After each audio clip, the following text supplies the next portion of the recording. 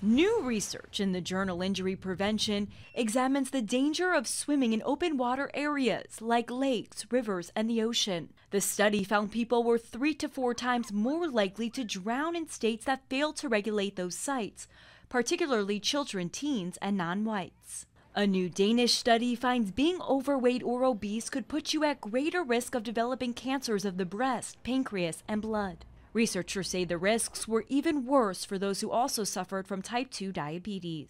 And new data on one of the top causes of death in America. Researchers found the number of alcohol related deaths doubled between 1999 to 2017, especially among men over age 45. Those are some of the day's top health stories. Hillary Lane, CBS News, New York.